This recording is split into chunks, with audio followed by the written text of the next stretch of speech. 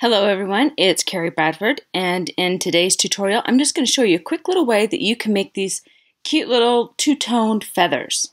As you can see here I have pulled up the feathers kit and so that's what we're going to work with here today. I'm just going to go ahead and get rid of um, the three feathers. It looks like these are in a compound path so let's get rid of that.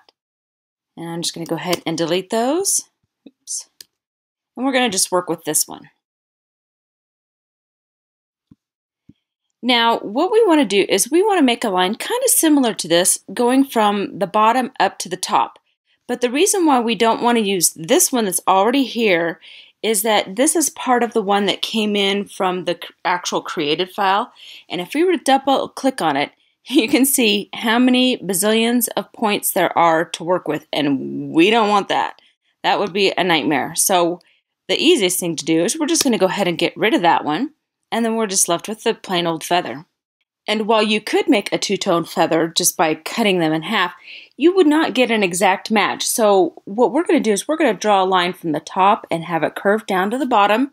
And then that way you can cut out two sets of the feather and swap them to make two different two-tone feathers.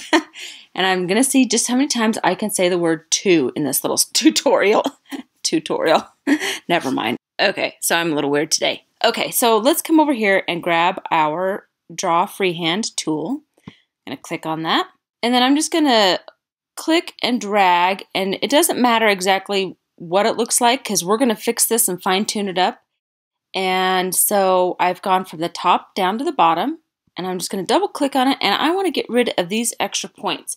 And the reason for that is, is we want a nice long straight curve. And when you start throwing in those extra points, it alters the course of your line. So we're just going to go ahead and click on that, right click, and choose delete point, and do the same thing with this one. Right click, delete point. Now you can see that we're left with just two points. And I'm just going to kind of move this one over here and move this one up here just a little bit. We're going to fine tune it just a little bit more. You can see that we have a handle here that we can choose to curve it with. But I also want to curve it up here at the top. But currently, if you look over here, it's a flat point with a, a smoothness to it. And we want to make it a curve. And by choosing the curve, it gives us another handle to play with. So now I can click on that handle and kind of curve it just a little bit more precisely in how I, exactly that I want it. Just kind of gives it a little more control. And then I'm just going to zoom in here and I want to make sure that this comes across about where that little corner point is. And the reason for that is I don't want my line to go down here. I'm afraid that will end up making it too thin. You could go ahead and do that if you really wanted to, but I'm I think that just having the feather itself in two-tone will work well because again, if you try to bring it down there, if you're making them small feathers, it might get really thin and, and fragile and you may not like it like that. So I'm just going to go ahead and zoom back out and see how our little curve is doing.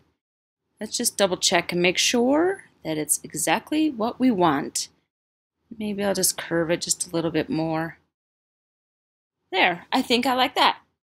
Okay, so now all you have to do is just send this to your cutter, cut it in two different colors, and then you can match both of them up perfectly and create these cute little two-toned feathers.